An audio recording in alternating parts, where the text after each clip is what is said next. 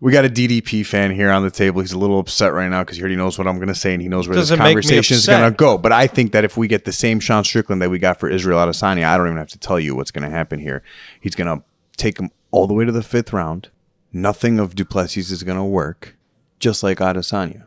And I know Du Plessis is going to bring forward forward pressure. And if Sean Strickland brings the same Adesanya Sean Strickland, I think we're in for a hell of a fight. I have Sean Strickland decision, but I could see anything happening here. This is a tough one to predict. I'm not going to sit here and tell you exactly what's going to happen. I'm a huge Sean Strickland fan. Obviously, um, Du Plessis is in his head and under his skin. He opened up something, or maybe him winning the champion opened up something. Regardless, we don't know how he's going to perform after these brand new emotions that he's probably feeling for the first time in his life. Okay, so I completely disagree with a lot that you said there. I think that if we actually see the same Strickland that we saw in Adesanya, that he's definitely going to lose. Okay.